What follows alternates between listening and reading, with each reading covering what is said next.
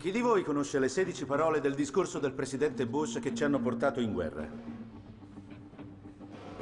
Chi di voi sa come si chiama mia moglie? Allora, come fate a sapere questo e non quello? Quando è che la domanda è cambiata da perché stiamo entrando in guerra a chi è la moglie di quest'uomo? Io ho posto la prima domanda, ma qualcun altro ha posto la seconda e ha funzionato, perché nessuno di noi conosce la verità.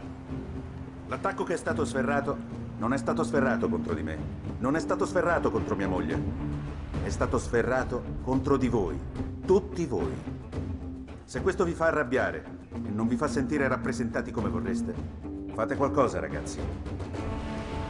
Quando Benjamin Franklin uscì da Independence Hall subito dopo la seconda stesura della Costituzione, in strada fu avvicinato da una donna che gli chiese Signor Franklin, che sorta di governo ci avete lasciato in eredità?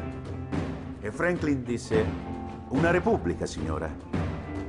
Se saprete mantenerla, la responsabilità di un paese non è nelle mani di pochi privilegiati. Noi siamo forti, e siamo liberi dalla tirannia e lo saremo finché ognuno di noi avrà sempre in mente qual è il suo dovere di cittadino. Che sia per chiedere conto di una buca in fondo alla strada o delle bugie in un discorso sullo Stato dell'Unione, fatevi sentire, fatele quelle domande. Pretendete la verità. Nessuno vi regalerà mai la democrazia, statene certi. Ma questa è la nostra democrazia.